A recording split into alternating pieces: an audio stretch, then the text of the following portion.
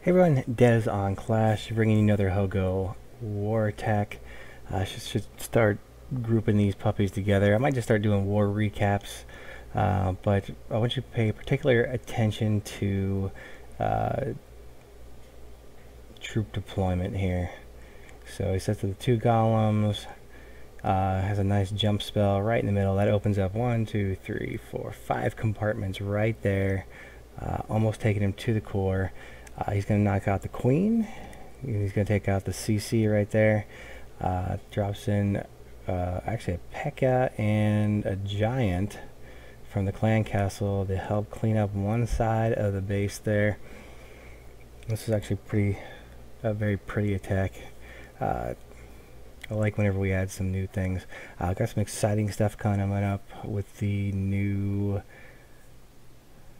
max attack so stay tuned for that, hopefully coming later this week. Uh, Hunter's going to then deploy his hogs on the back side of this base. Heal as needed. Still have some of those pups up, and now they draw the attention. Oh, and there goes the bomb. There goes the poison spell. He heals so far ahead. If that mortar would have hit those hogs, it would have been game over. But Honda is confident.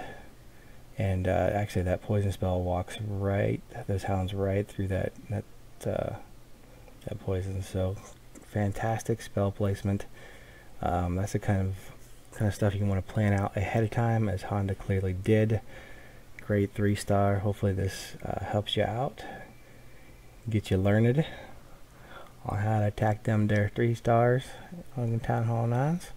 Uh, anyway, this is Dez on Clash. Hoping to take you to the next level. Uh, look below, make a comment, hit that little uh, subscribe button, and uh, trying to get some more content for you guys. Out.